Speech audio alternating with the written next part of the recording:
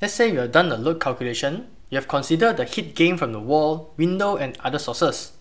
You tabulated your result and you found your total cooling load. Now, is this the cooling capacity that you need? It doesn't seem right. What about the outdoor air? Bringing in outdoor air will surely increase the cooling capacity, right? Also, how do we account for duct losses? And should you include fan motor heat gain? If all of these need to be accounted for, then cooling load is not equal to coil load. So how do we determine the coil load? Coil load is equal to 4.5 times CFM times delta H. CFM is airflow, delta H is enthalpy difference. To find the enthalpy difference, we need to know the on-coil and off-coil conditions. For airflow, we use this formula. To determine the on-coil and off-coil conditions, we need to refer the psychometric chart. On the psychometric chart, this is the on-coil and off-coil enthalpy. Their difference is the delta H. To determine the on-coil and off-coil, we need to know several temperature points as shown in the chart. So let's start with airflow calculation. Airflow is equal to sensible cooling load divided by 1.08 times delta T. The delta T is the difference between the indoor design temperature and the supply air temperature. For the indoor design temperature, it is typically 75 degree Fahrenheit for comfort cooling. However, we also need to follow what the project or the application is required. If you are designing for a hospital, certain rooms might need to be maintained at 70 degree Fahrenheit. Otherwise, we'll just use 75 degree Fahrenheit. As for the supply air temperature, typically 18 degree Fahrenheit below the indoor design temperature. Some standards or guidelines may specifically mention the lowest possible supply air temperature. So if the indoor design temperature is 75 degree Fahrenheit, the supply air temperature is 57 degree Fahrenheit. Once we have our indoor design temperature and supply air temperature, we can total up our sensible cooling load and find our airflow. In our case is 2315 CFM. To find the off-coil enthalpy, we need the psychrometric chart. At the top left corner, we have a compass. It represents the sensible heat ratio, SHR, in percentage. By dividing the sensible cooling load by the total cooling load, we get 80% sensible heat ratio. So we draw a line at 80%.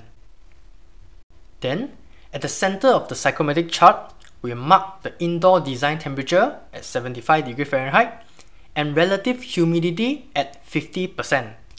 For comfort cooling, the acceptable relative humidity is between 40 to 60%. For now, we set at 50%. Next, we copy the sensible heat ratio line to the back of the indoor design temperature. Along this line, we mark the supply air temperature at 57 degree Fahrenheit. Now, from the supply air temperature, we want to determine the off-coil temperature.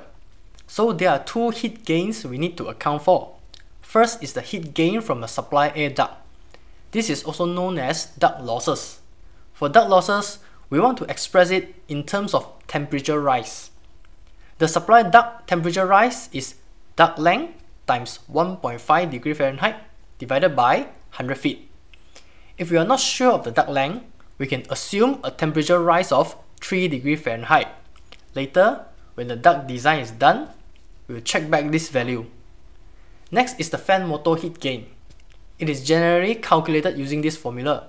However, there's a slight difference between if the fan motor is inside the airstream or outside the airstream.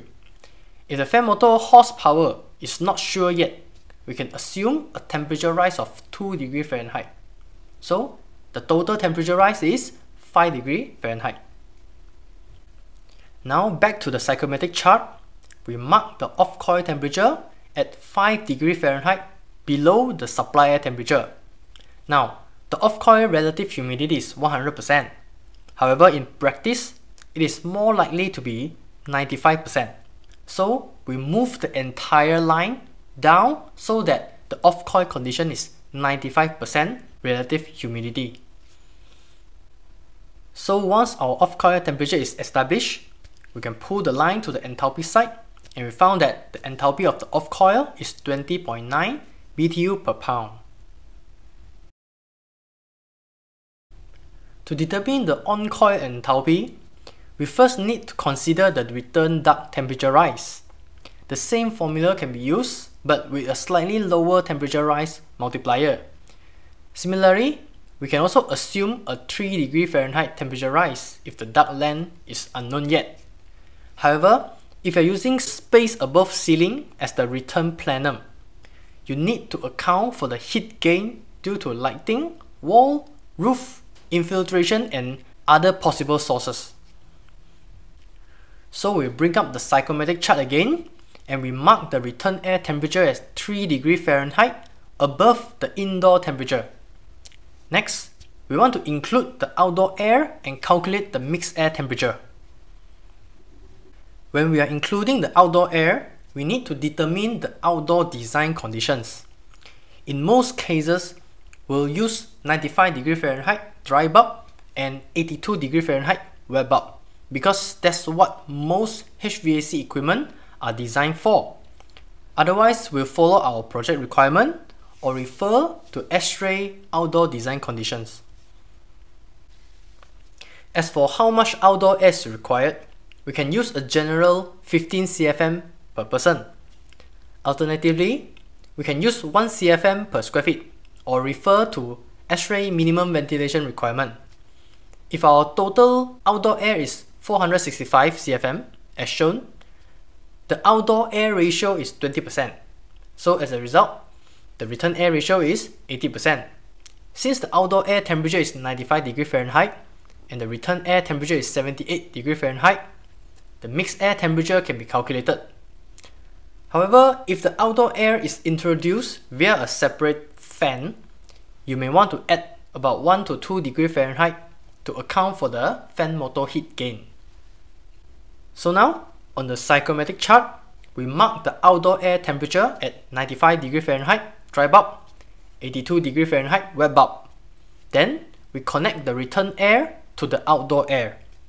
Finally, we mark the mixed air temperature of 81.4 degree Fahrenheit along this line to get the on-coil enthalpy, which is 31.8 BTU per pound. So, putting in the airflow, the on-coil and off-coil enthalpy into the equation, the AHU cooling coil capacity is 113,000 BTU, or about 9.5 ton.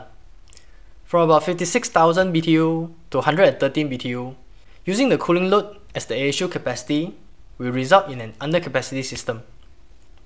For better accuracy, you can use psychrometric software to find the enthalpy. That's all for this video. Thank you.